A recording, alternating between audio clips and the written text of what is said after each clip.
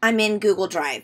I have a folder that contains Google Sheets, Google Slides, Google Docs, and I come up to my Chrome extension and I click on the Drive 20 Chrome extension, and you'll notice what's happening is along the top, it is opening up 20 Google Docs all at once, and you're going to need to wait for those to load.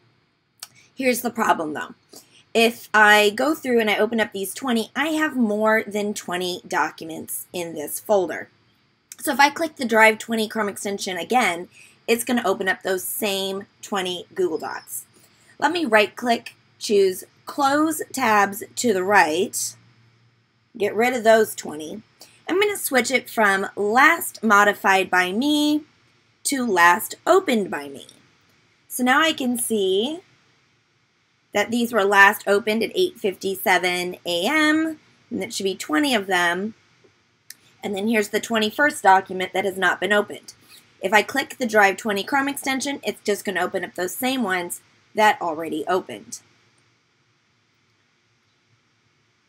Close tabs to the right.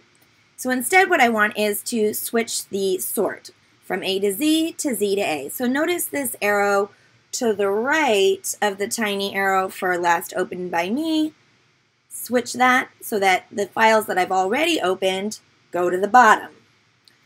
And so now the ones that this one shows that it's never been opened by me.